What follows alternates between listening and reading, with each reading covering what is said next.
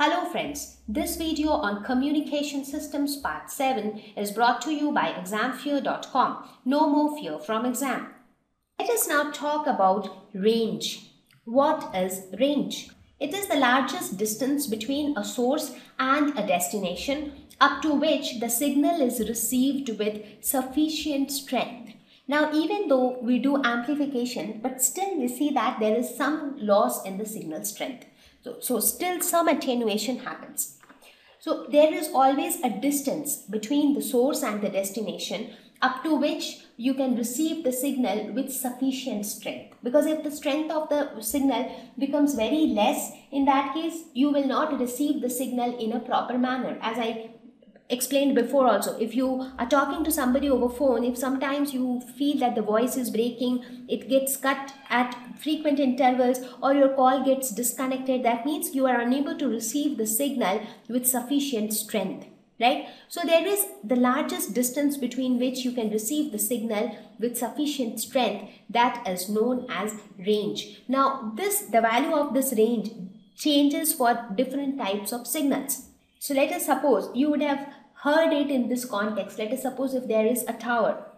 So that tower will have its range up to a certain distance. That means up to this much distance, it can transmit signal with good strength so that the receiver can get it in good quality. So you would have seen that there are telephone towers, right? Which are present in different localities. So why do we have different towers for different localities? Why is it not that there is just one telephone tower for the entire world?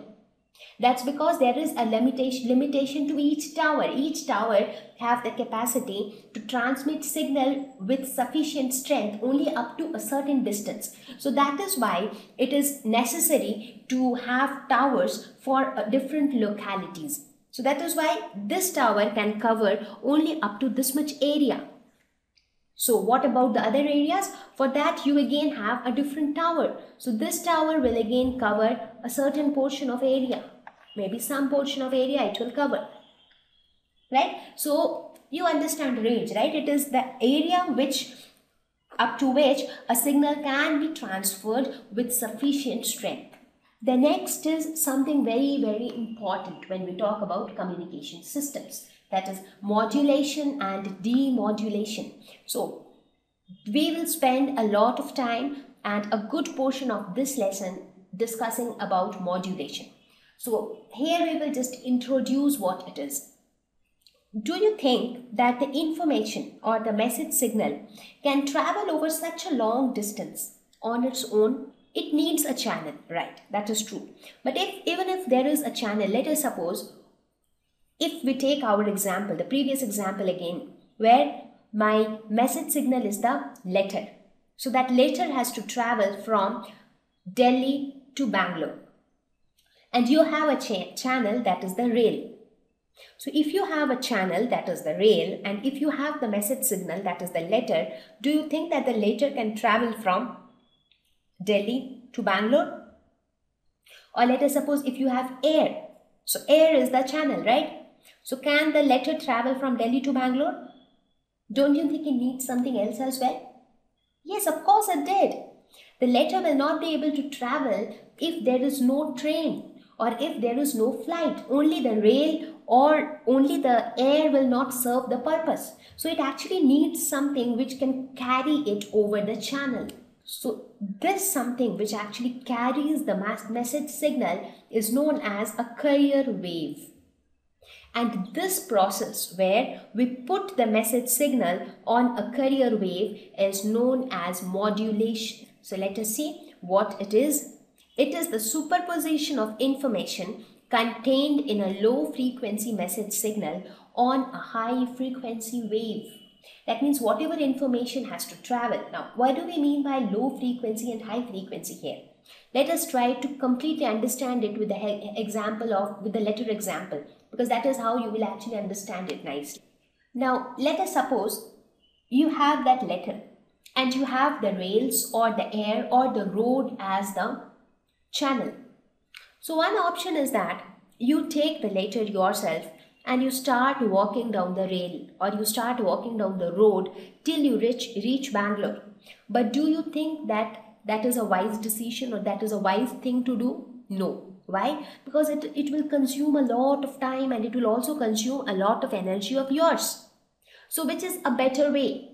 So the better way is to have something which will actually carry that information, which will actually carry that letter and something which can actually run really fast so that things can happen pretty fast.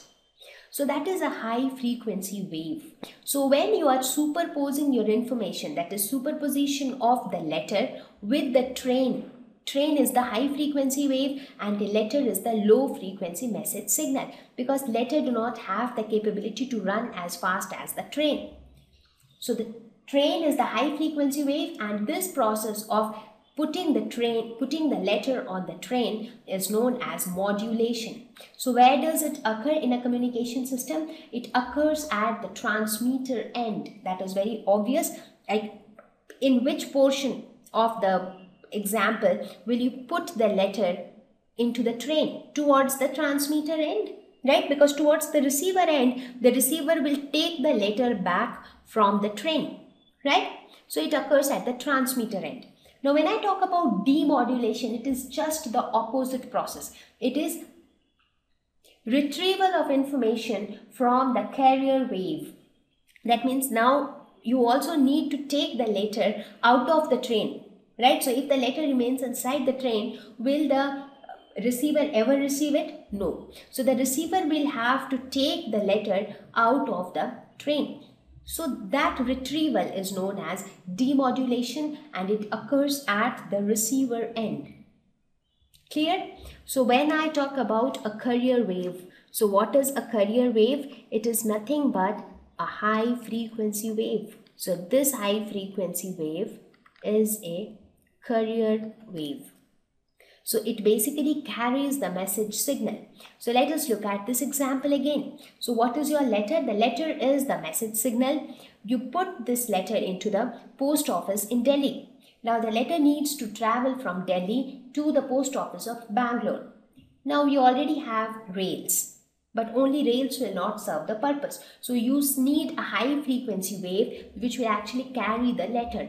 And what is that high frequency wave? That is the train. So the train acts as the carrier wave. So the train will carry the letter so this carrying of letter that is modulation will happen at the transmitter end and once it reaches towards the receiver end, the receiver will take down the letter from the train and that process is known as demodulation. Clear? So the process of modulation and demodulation is clear? Okay. Now we will go ahead with our next topic where we will talk about the different types of modulation.